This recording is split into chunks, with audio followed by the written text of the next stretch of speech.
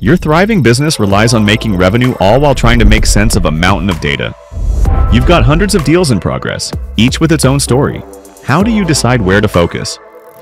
Which deals need immediate attention? Which leads have the best chance of converting? And how do you align all this with your team's capacity and resources? What if your sales team could see the bigger picture at a glance? Ray, the projects director at Zilker Dynamics, faced this exact challenge.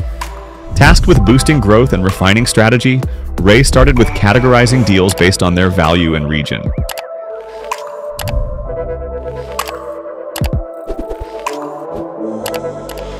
Quick wins that kept the pipeline moving. Opportunities that require a bit more nurturing. High-value accounts deserving refined strategies. After Ray refined data by creating different split views for region, value, deal source, and those that were marked high priority, he could now focus on the most important deals. By managing the split view, he could also rearrange deals and edit or delete based on his requirement. By collapsing the small and medium value deals, Ray sorted all high value deals that required immediate attention according to increasing deal value. Ray also managed columns to a split view, so he could strategize on having higher lead conversion rates. Using Split View, Ray could analyze all open deals, the number of deals allocated to each resource, and only made informed decisions.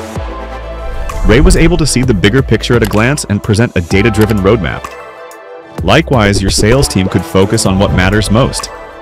Clarity is just a view away. Try Split View,